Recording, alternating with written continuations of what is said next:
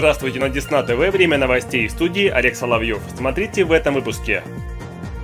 Театрализованная игровая программа, посвященная открытию городской елки. Пришли сюда, чтобы подарить детям новогоднее настроение, настроение праздника и много веселья, так сказать, радуем детей, чтобы они были счастливее. Творческое объединение юных журналистов и фотографов в Доме детского творчества. На наших занятиях мы учимся, как правильно готовить материал, как правильно публиковаться, что нужно для, делать для того, чтобы тебя читали, чтобы было интересно. Новогодний шахматный бал в Центре культуры и молодежной политики. Папа, мама, я хочу в шахматы играть, вы меня запишите и все. И мы его записали, он стал заниматься. 25 декабря на площади у администрации Десногорска состоялось официальное открытие новогодней елки. И, как оказалось, отсутствие снега не повод отказываться от праздника. Подробности далее. В преддверии Нового года отличное настроение уже есть у самых юных десногорцев. Праздничная елка у администрации стала местом искреннего веселья, игр и подарков. А поздравляли ребят в этот день настоящий Дед Мороз со Снегурочкой.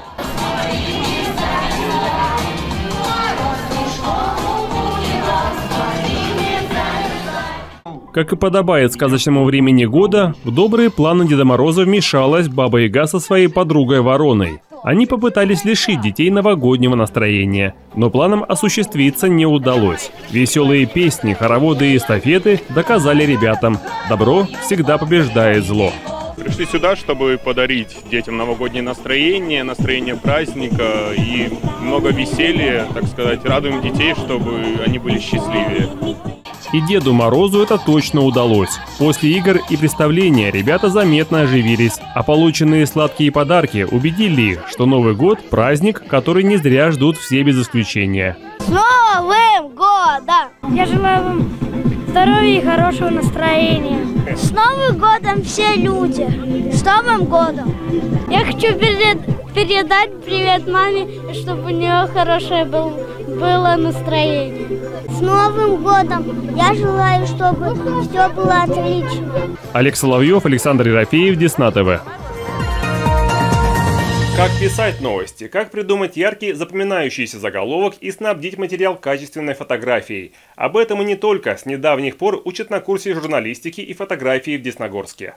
В октябре этого года в Доме детского творчества появилось объединение под названием «Объективно». Проще говоря, это школа журналистики для юных ребят в возрасте от 12 до 18 лет. Идея создания направления пришла к его нынешнему руководителю Татьяне Кужениязовой во время работы в проекте «Школа Росатома». И теперь вот уже три месяца в Доме детского творчества школьники в свободное от уроков время познают интересную и многогранную профессию журналиста. Учимся подавать материал именно профессионально, так как требуют законы журналистики.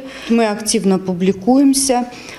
Ну, а фотографы в это же самое время фотографы учатся правильно фотографировать. Занятия проходят по двум направлениям – фотография и написание текстов. Благодаря такому творческому тандему у ребят получаются интересные работы с красивыми иллюстрациями, которые, кстати, уже регулярно публикуются в городских изданиях. Анастасия Моисеенкова давно интересуется журналистикой. Свою самую первую статью написала год назад, но поняла, что знаний и опыта все-таки не хватает. После того, как увидела объявление о наборе в творческое объединение «Объективно», сразу же записалась. На наших занятиях мы учимся, как правильно готовить материал, как правильно публиковаться, что нужно для, делать для того, чтобы тебя читали, чтобы было интересно. Безусловно, такие занятия помогают молодым ребятам определиться с будущей профессией. София Рыцарева – самая старшая ученица в студии «Объективно». В 2020 году она заканчивает школу и уже твердо знает, что хочет стать журналистом. Помимо подачи материала и интересных уроков, Софии также нравится возможность участвовать в различных конкурсах по журналистике. Я выиграла в конкурсе э, областном. Я в январе поеду на награждение, получу премию. Это мне очень поможет при поступлении. Все ребята с большим удовольствием занимаются на уроках, учатся делать красивые качественные фотографии и писать тексты для СМИ. Но даже если кто-то из учащихся не будет связывать свою жизнь с журналистикой, эти знания все равно останутся отличным фундаментом для человека любой сферы деятельности. Ксения Вьюшкова, Юлия Соболева, Александр Рафеев, Десна ТВ. 23 декабря в Центре культуры и молодежной политики прошел новогодний бал, но не простой, а шахматный. Почему такое необычное название и кто в нем участвовал, расскажем далее. Для детей и их родителей в преддверии Нового года состоялся настоящий шахматный бал. В нем принимали участие все воспитанники из проекта «Черно-белое королевство», «Шахматы» и «Малыши». Такой проект стал победителем второго конкурса 2019 года на предоставление грантов президента Российской Федерации на развитие гражданского общества и теперь успешно реализуется в Десногорске. Цель этого проекта, то есть мы детей научим азам шахмат, они начнут уже просто играть в шахматы, и мы по всем детским садам нашего города пройдем с показательными выступлениями или занятиями по шахматам. И принимать участие в этом будут вот как раз те дети, которые у нас сейчас учатся. Шахматное направление рассчитано для детей от 4,5 лет. В Десногорске собрано уже четыре группы. Каждая из них занимается по 6-8 ребят. Ну и, конечно же, без праздников никуда. Руководители проекта организовали для своих воспитанников волшебный новогодний бал. Все как и в шахматах. Две армии, черные и белые, и костюмы в виде шахматных фигур.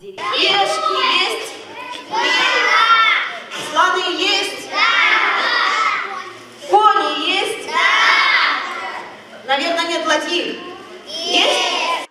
И даже были самые главные фигуры – король и ферзь. Как и на любом детском новогоднем празднике, не обошлось без различных конкурсов, в котором были задействованы и родители маленьких шахматистов. Ну и, конечно, стихотворение для Деда Мороза. Только так можно было получить заветный подарок. Кстати, как оказалось, желание записать на шахматы своего ребенка не всегда исходит от родителей. В семье Александра Спасова инициативу проявил самостоятельный сын Максим.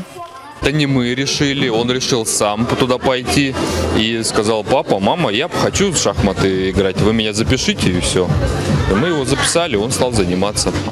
Занятия шахматами развивают в детях интеллектуальные способности, концентрацию внимания, память и еще много других положительных качеств.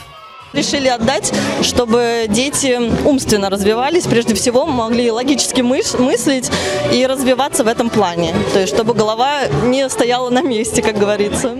Благодаря таким проектам в Атомграде появляется все больше мест, где бы ребенок смог проявить и, самое главное, усовершенствовать свои навыки. Ксения Вьюшкова, Юлия Соболева, Александр Рафеев, Десна ТВ. Обновленный городской пляж Диснай, пусть небольшим опозданием, но уже готов к предстоящему пляжному сезону. Благодаря большому объему работ привычное место не узнать. Был завезен песок, отремонтированы пешеходные дорожки, установлены кабинки, детские игровые комплексы и многое другое. Некоторое оборудование закуплено и ждет своего часа для установки, которая будет с наступлением теплого времени года. Все это – результат федеральной программы формирования комфортной городской среды, которая уже не один год успешно работает в Десногорске. Какая территория города будет отремонтирована следующей, решать самим горожанам.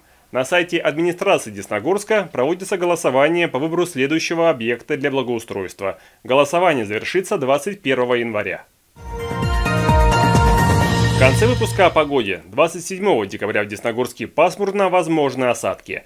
Температура днем и в ночное время около нуля. На этом выпуск завершен. Больше интересного на нашем сайте desnadefistv.ru, а также в наших официальных группах в социальных сетях ВКонтакте, Одноклассниках, Фейсбуке и Инстаграм. В студии работал Олег Соловьев. До новых встреч!